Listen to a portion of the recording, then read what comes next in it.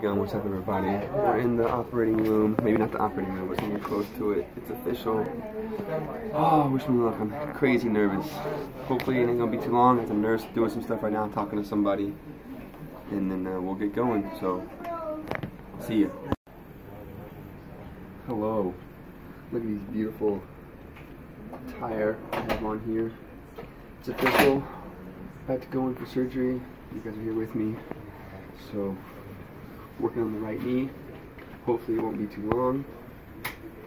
Hopefully I can keep this afterwards. I think this is kind of nice. I don't know what you guys think, but I think it's kind of nice. Other than that, you can probably see my bum. And uh, it's about it. It's official. So see you guys afterwards. Oh, Jake uh, making this video. Looks like I'm naked underneath this blanket. Hey, feeling babe, it quite great. comfortable, feeling quite dizzy.